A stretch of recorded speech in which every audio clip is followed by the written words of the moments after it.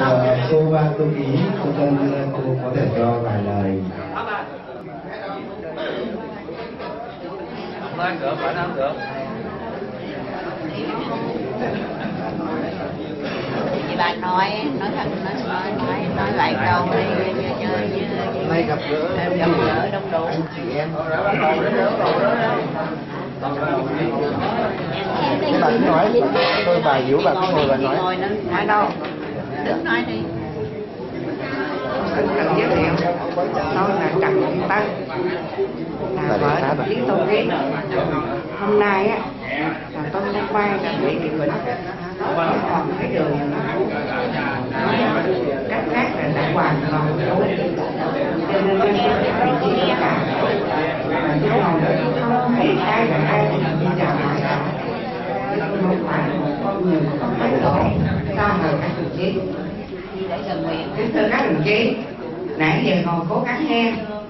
Nhưng mà có lúc nghe được có lúc nghe không được. Bởi vì hôm nay tôi cũng đã 83 tuổi rồi. Già rồi. Cho nên á cái cái độ thấy là hoàn toàn không còn nữa và cái độ nghe đó thì bây giờ còn phải từ năm trăm thôi. Cho nên có khi các đồng chí học hiểu tôi không nghe được. Mà có đồng chí nói nhỏ quá nghe không được anh đồng nam con phải anh có thể là cái cổ nói nhỏ quá cũng nghe không được xin bây giờ bác kêu các đồng chí bảo tôi nói tôi xin nói tôi không có chuyện gì nhưng mà tất cả những cái gì mình nói về anh ba Nguyễn mình á thì các đồng chí á, tôi thì lúc bây giờ tôi còn nhỏ lắm chắc có mới 17, 18 tuổi là tôi không hiểu gì cả. Cho nên á, là trong các quyển quyển sách mà chúng tôi biết về tô ký một vị tướng trung kiên mà nghĩ gì pháp. Thì trong đó có bài của đồng chí tô ký biết nói về anh ba cũng rất nhiều, mà hầu như nói hết toàn bộ vấn đề. Thì trong đó có nói về vấn đề anh tô ký và anh ba trà là cặp của trà đó. Thì hầu đó cũng cộng tác với anh ba anh ba của Bình thì trong đó tôi xin nói lại thôi là có một câu mà anh ba tôi ký nhắc lại. Là khi mà anh ba của Bình vào đó, thì tôi xin lỗi, tôi xin nói thật, cái lúc tôi còn nhỏ, cái miền ở Hóc Môn, Sài Gòn này đó, người ta đã thành chiến người Bắc. Người Bắc ở trong này nó gọi là cộng cạch Bắc Kỳ, cho nên họ ghét lắm họ, bị lại nhầm. Cái vấn đề chia rẽ có cái bất pháp. Rất chia rẽ. Ba miền của mình à, Nam Bộ Nam Kỳ á, thì nó gọi là à, à, một, một cái xứ mà được thuộc địa của Pháp. Rồi Bắc Kỳ Trung Kỳ à, thì là cái xứ đô hộ của Pháp. Nó chia ra như vậy cái quả thực là một nước Việt Nam không. Cho nên lúc bây giờ ở cái xứ mà Hóc Môn cũng như là xứ ở Sài Gòn này đó thì người ta ghét Bắc Kỳ ghét cộng cảnh lắm người ta người ta dạy dỗ con gái bây giờ chẳng mà lấy các chú tức là người Trung Quốc á, còn hơn là lấy Bắc Kỳ cộng cảnh đến nỗi chúng tôi lúc bây giờ 16 17 tuổi mà cũng còn cái tư tưởng là không thích Bắc Kỳ nữa đến khi lên kháng chiến thì giờ giờ mới biết ra cho nên nó mới thân thiện và đoàn kết như vậy à, xin nói chỗ này tôi xin nói thật chứ không có ý gì. Dạ vâng không sao. Ngày nay tôi để khác hoàn toàn rồi không phải như vậy nữa xin kể lại đây. Các đồng chí đừng thấy rõ vấn đề là áp vô cái dạng như thế. À, dạ. ở đây em xin nói à, một vài điểm mà tôi tâm đắc mà tôi giác ngộ trong người tôi rất là á, là để các đồng chí thấy rằng anh ba Nguyễn Bình trong con người rất là thân tình đối với gia đình tôi con hãy nói đến Nguyễn Bình là ai cũng thấy rằng á, là có hai gia đình. Một là gia đình ông Tu Ký hai gia đình anh Tám của nhân nghệ. Là hai gia đình này là hai gia đình rất thân nhân mà được sự tốt nghiệp tuyệt đối của anh ba Nguyễn Bình. À, một cái nổi bật nhất của anh ba Nguyễn Bình đó là được trung ương cử vào đây. Và tôi nghe nói lại chứ thực ra tôi không có giáo quân sự. Và lúc bây giờ tôi còn nhỏ quá, chưa hiểu vấn đề gì lắm đâu. Sau này tôi mới nghe anh ba tôi ký nói lại là được định được cái quyết định xác định của bác hồ là cử anh Ba Nguyễn Bình phụ trách ở ở miền Nam này, Nam Bộ, để mà thống nhất, để mà chỉ huy quân sự ở miền Nam. Và lúc bây giờ thì ở trong Nam Bộ này, thật ra mà nói, cái người mà đi kháng chiến cái người mà làm à, quân sự đó chưa có à, am hiểu lắm. À, am hiểu nhiều lắm. Cho nên lúc bây giờ anh không có nhìn vô phải nói anh có công lao trong vấn đề mà thống nhất các lực lượng vũ trang lúc bây giờ ở phía Sài Gòn này đó ở Hóc Môn mà lên tới An ninh Tây á khu nâng khu nắng Hóc Môn á thì à, là có những đảng phái tôn giáo mà họ cũng là những cái yêu nước không, nhưng mà họ có những cái nhầm lẫn, cái thủ đoạn gian xảo của đế quốc pháp. Cho nên lúc bây giờ khó khăn lắm. Cho nên để quân sự ở miền Nam này rất là khó. Đó, thì ví dụ như là ở ờ, An Nhân Tây, Phú Mỹ Hưng á, là có những đảng phái tôn giáo nào là đại tam sư đoàn đại tứ sư đoàn, là sư đoàn Lý quay dinh rồi khắc phi bên đó tức là học tạo năm chín á rồi cao đài này rồi Việt Minh mà đi đến chỗ là chuẩn bị những chú quân sự tiền thích để mà cầm đồng với nhau. Cái này không tôi cũng nói nhiều bởi vì các bạn này đã qua rồi. Thì tôi nói lại các đồng chí đến ai cũng biết cả. Đó thì anh ba cũng mình phải nói là người có công. Một người mình bắt vào à, mà có công lớn trong vấn đề là thống nhất các lực trăng, vũ sự lực trăng, đó. Và cái đặc điểm của anh của mình lúc bây giờ đó ai cũng lòng bây giờ nói đến là, là ông Nguyễn Bình ở xứ này cứ gọi là ông Nguyễn Bình thôi. Ông Nguyễn Bình thì ai cũng biết là anh ba của mình là người rất là có trí gan dạ. Anh gọi là gan dạ tất cả những người anh hùng á rất là dũng cảm. À, anh Nguyễn Bình là có những lời như vậy cái nữa? Là tôi xin nói rằng trong này quá trình là quá trình làm việc á, thì anh nói Ba Nguyễn mình phải được cái điểm điểm gì, ưu điểm gì. Thì lúc bây giờ tôi không biết, nhưng mà thấy điều ra trong trung ương trong lúc nước sâu lửa bỏng ở miền Nam, thì trung ương có điều anh Ba những Bình ra ngoài Bắc. Thì cái ngày mà anh Ba những Bình đi á, là cái ngày đó là anh con tại nhà tôi ở ở tại Long Nguyên. Thì lúc bây giờ có nhà có chủ gần nhà của à, ông ông sáu năm rồi cũng đồng phó à, ở trong mười hai. Rồi à, anh Đức Tài là trưởng ban chiến thiết và bảo vệ tỉnh hậu cho định ninh. Tức là cha vợ của Lê Bổ đây thì chúng tôi ở đó tiếp đó anh Nguyễn Bình rất là vui vẻ.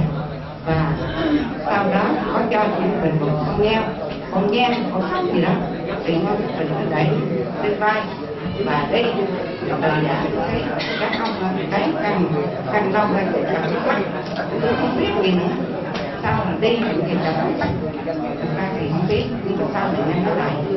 Rồi đi trong khoảng khoảng thời gian đâu chưa no chưa đầy ba bốn nào gì đó. Thì có tên đấy anh em tình báo. Mang tên nói là anh mong những người ta đi sinh là là bị đường bao vây thì bố có thể là có nữa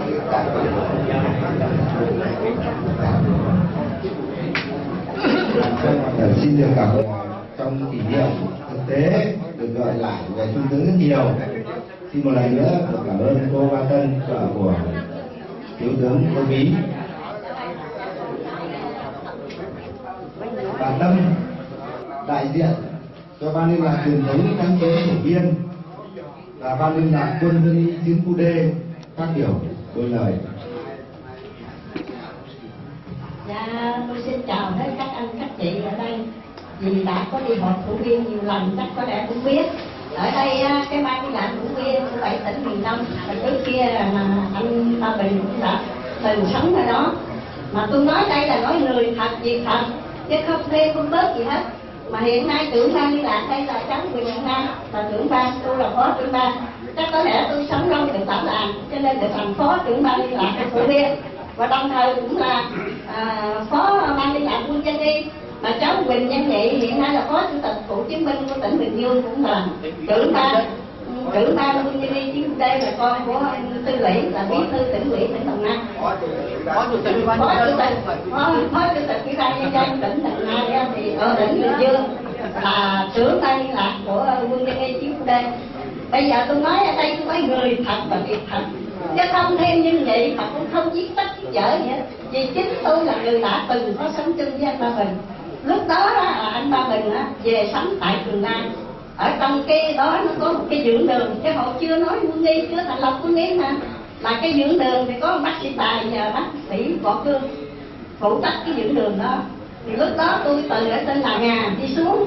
Hát chị thằng hùng nó kêu là không phải là phát chị ăn mà kêu là cái hàng ông xăm sau này tới thời à, ngụy nó mới đặt lại là cái tháp chị an. Bởi vì nó trị ăn những cái người theo chị chồng gom về thành cái xã chị an. Thì khi là phát chị an cái chính gốc của nó là tháp, nó là cái hàng động xanh. Thì tôi từ từ nhà cũng xuống tôi được đưa vào đó. Thì lúc đó anh ba đó anh cũng sống ở đó và có tám anh ba với anh tám rất là tâm đắc. À, sống trong những ngày đó.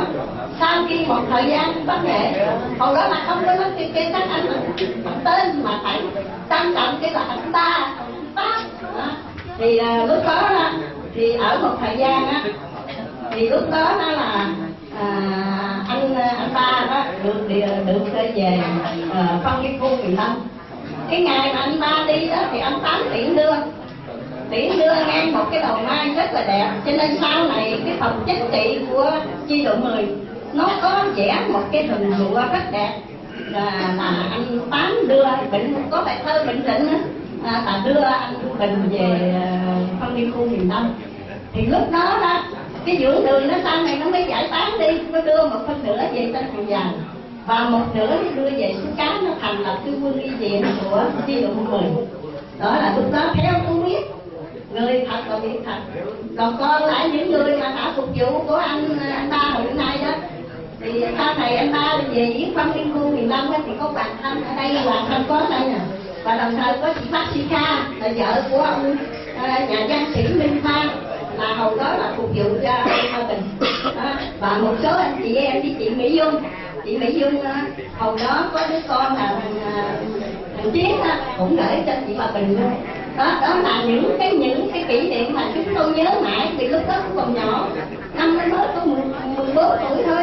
Nhưng mà đi theo kháng chiến thì phân công làm cái gì tôi thì lúc đó chúng cũng biết uh, bằng tổ chính pháp. Thành ra đi đâu thì chiêu môn thì chỉ có tốt và không cứu tốt đó cho nên những cái thời gian mà anh ta ở lại đó đã để lại chúng tôi rất là nhiều kỷ niệm ảnh rất là thương là luôn luôn động viên chúng tôi làm những việc tốt. Và đó là những kỷ niệm những ngày ở chiến đê. Cho nên hôm nay tôi cũng nói lên có những người việc thật và người thật. Tôi mới dám nói à, những người đó thì hiện nay cũng còn rất ít không còn bao nhiêu hết lần lần các anh các chị cũng đi hết vậy thì à, với tôi năm nay cũng đã tám mươi mấy tuổi rồi thì các anh các chị đó thì cũng ờ, lớn hơn tôi thì lúc đó tôi giỏi nhất mà. Ờ, Thành ra đó là những cái gì tôi nói? Những cái kỷ niệm gì của anh ta để lại cho à, chính đây chúng ta là những à, đồi mai những cái bài thơ của anh tám để lại đó là sự thật.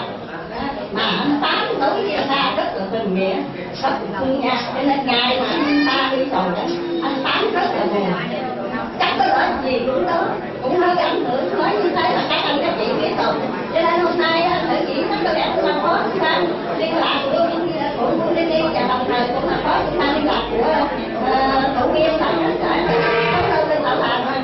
Biết nhiều và biết được thẳng chia sẻ mà đi tới cuối đời cũng phải không nhân đậu vậy xin hết và tiếp theo đây xin được giới thiệu ông Nguyễn Xuân Mai đại diện chi đội 10 sẽ phát biểu. Kính thưa gia đình đồng chí Bình và kính thưa tất cả các vị đại biểu như hôm nay tôi là trước đây là giải phóng quân dương đội áp môn và những nước hòa thuộc chi đội 12 sau về đó ở chi đội 10 và tiểu đoàn 303 thì trong quá trình tôi sau khi mà kích chính quyền Sài Sài Gòn xong thì quân Pháp đó, đánh cha ở là Biên Hòa thì tôi ờ, là phụ trách cái mặt trận ở Tân Biên ờ, thì sau khi đánh đó thì là uh, là gặp là với mình. Thì trong quá trình đó thì tôi thấy là phải nói là cái sự quan tâm của bác hồ mà lựa chọn được cái người mà đưa vào uh, Việt Nam để là củng cố, tôi thấy cái nổi bật nhất là củng cố được cái lực lượng vũ trang là ngày xưa ở sau khi nước chính quyền thì lực lượng ở miền Nam nó phức tạp lắm. Nhưng các đồng chí nói là 12 thứ quân, nhưng mà chính trung tướng bình vào đã đã củng cố được là cái lực lượng vũ trang trở thành cái lực lượng dưới sự lãnh đạo của đảng là cái lực lượng rất quan trọng cho cái vấn đề là chiến đấu. Cái thứ hai cái nổi rất thứ hai đó là trung tướng không những đã chỉ huy được các lực lượng vũ ta càng ngày càng củng cố, càng phát triển và đã xây dựng được những các căn cứ, cách mạng, ví dụ như chiến khu đê sau này về Long Thành, là rồi các cái tỉnh ở ở phía miền Nam đó. Thế tôi là cái công lao vĩ đại. Tôi tôi coi là công lao vĩ đại đóng góp vào cái vấn đề miền Nam này đó là rất quan trọng. Nếu không có cái sự lãnh đạo của đồng chí Nguyễn Bình đó, thì cái tình hình miền Nam không thể là giữ vững và phát triển trong cái cuộc kháng chiến là chống thực dân Pháp đó là một cái điều. Cái thứ hai nữa là tôi được sống gần Nguyễn Bình đó, là tôi thấy phố bắc phong mặc dù là tư lệnh nhưng mà rất là, là, là hiền hòa và rất là đối với anh em không có cái gì cả. Cho nên trước khi anh đi ra đi về miền Nam á, à, về miền Bắc á, thì anh có gọi tôi đến. Anh có cho tôi một cái máy ảnh của Exeta là một cái đồng hồ. Và anh cũng quay dặn tôi.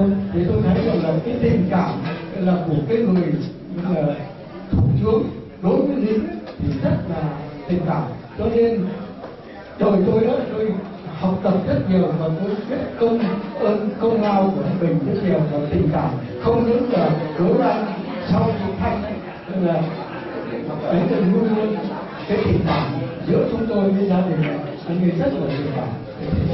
Nó nói qua cái hiểu tôi đối với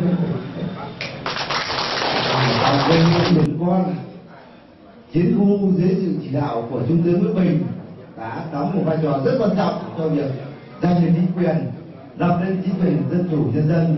Đầu tiên, lần thứ nhất và vân vân là một dấu son lịch sử cho cuộc đời của người dân của tỉnh Hải Phòng.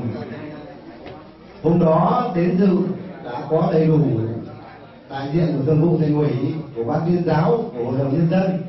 Và đã công nhận ngày 23 tháng 8 sẽ là một trong hai ngày để kỷ niệm chính thức từ nay về sau, vào năm lẻ sẽ thực hiện vào ngày 23 tháng 8 là ngày cướp được chính quyền, lập lên chính quyền dân chủ nhân dân tại Hải Phòng. Chứ không phải là ngày tiếp quản lại là ngày 13 tháng 5 năm 1956 và thường vụ thành ủy có thông báo thông qua các ban liên lạc xin được kính mời tất cả các cô các ông các bà, các cựu chiến binh và các lão thành cách mạng của tỉnh Hải Phòng và chiến khu Đông Triều và dịp đó xin được ờ, mời đến dự và cố định đã thống nhất với đồng chí Phú Lương là giám đốc của bảo tàng là tổ chức tại nhà bảo tàng thành phố Hải Phòng và các năm lẻ lẻ là số một ba năm bảy, chứ không phải lẻ là không phải là năm mười mười năm dạ các anh cân nhắc kỹ như vậy. Con xin cảm ơn các bà về cái thông tin này ờ, có gì thì con xin thông báo số điện thoại của con để các ông các bà sẽ lấy ở chỗ anh Hiền rồi liên lạc với chỗ ông Hồng Kỳ là trưởng ban liên lạc hội cựu chiến binh nghĩa quân Đông Triều tại Hải Phòng, sẽ là người chủ trì cùng với thành ủy tổ chức vào dịp cách mạng tháng 8 thành công tại Hải Phòng. Là từ nay về sau vào những năm lẻ, tức là một, ba, năm, bảy, chín gì đó. Chứ không phải là không phải là tránh, chỉ tránh cái ngày ờ, năm, mười mười năm đâu thế còn ờ, sau đây xin được giới thiệu anh Thuần là đạo diễn. Ờ, bộ phim à, về trung tướng Nguyễn Bình sẽ có mấy lời. Dạ, xin kính chào các bác, các chú, các anh chị và các em. Dạ, báo cáo với các bác các anh các chị thì đến giờ phút này thì bộ phim tướng Nguyễn Bình có độ dài hơn 20 tập đã căn bản quay xong. Và vừa rồi thì anh em đã vào Sài Gòn quay hai tháng và cũng được sự ủng hộ của đảng bộ và nhân dân thành phố Hồ Chí Minh cũng như là của quân khu 7 ủng hộ cả mọi người cho ăn cho nghỉ rồi súng ống đạn dược. Nên bộ phim đã đóng máy cách đây khoảng hai tuần và anh em đã trở ra bắt hết và bây giờ đã lên được cái kế hoạch để dựng phim. Thế nhưng mà trong khi anh em đang chuẩn bị vào dựng phim thì báo cáo với các bác cũng có một cái tin vui. À, trước đây thì ờ, thành ủy hải phòng thì bận nhiều lý do nên cũng chưa nghĩ định ờ, hỗ trợ cho đoàn làm phim. Thì bây giờ cũng lại muốn là sẽ dành cho hải phòng khoảng mấy tập phim để anh em bây giờ đang bắt đầu xoay ra viết kịch bản, để có những cái bản mà tướng như mình tổ chức các cái cuộc ờ, cách mạng, rồi tổ chức cướp chính quyền thành công ở Hải Phòng vào ngày 23 tháng 8 năm 1945 thế do vậy mà tiến trình của bộ phim vẫn không có gì thay đổi là khoảng ngày ờ, 19 tháng 12 năm năm nay thì phim sẽ được phát sóng. Và lúc ý thì anh em cũng đang có một cái kỳ vọng là phim sẽ được phát sóng trên đài truyền hình thành phố Hồ Chí Minh trước và sau đó trên đài truyền hình Việt Nam sau đó cũng là những cái thông tin để à, báo với cáo với các bác anh các chị và anh em như thế. Và khi phát ở bộ phim à, trên sóng của đài truyền hình thành phố Hồ Chí Minh thì anh em cũng rất là muốn là nhờ anh Huỳnh Văn Nam. Anh Nam ạ? Nhờ Văn Nam lúc ấy có một cái sự ủng hộ để cho phim được phát sóng cũng như là sẽ mượn một số tư liệu ờ, những cái đại cảnh của bộ phim bó ngựa trời nam làm với bác Huỳnh Văn Nghệ là phó tướng của trung tướng mình và đây cũng như là một cái nén nhang thành kính mà anh em nghệ sĩ diễn viên cũng như là anh em chiến sĩ và đồng bào quân khu bảy gửi tới trung tướng Nguyễn Bình vào mỗi một dịp là cái ngày đỗ của, của, trung tướng. Để anh em lại có mặt à, có dịp để được gặp mặt tại đây để ôn lại những trang sử hào hùng của quân khu bảy của nhân dân nam bộ cũng như thủ tướng nước bình đã dành cho à, tổ quốc và non sông chúng ta. Xin hết xin à, kính mời các ông các bà các vị cao tuổi các cụ ờ, ngồi ở đây nghỉ uống nước và chúng con sẽ dọn cơm ăn. Bữa cơm gia đình coi như hôm nay chúng ta dỗ bác Bình. Còn lại ờ, xin mời các đồng chí cán bộ đơn vị tại chức các anh em đại diện tuổi trẻ chúng ta uống rượu với nhau ở hai cái lán ở ngoài kia. Là xin mời. À, và đây ờ, xin giới thiệu anh Hiển sẽ có mấy lời cảm ơn.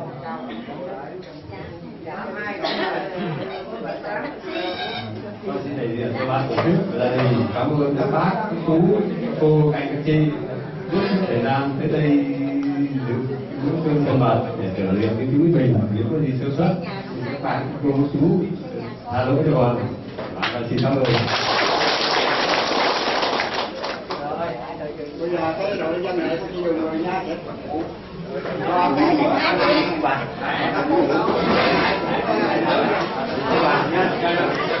cái Amen.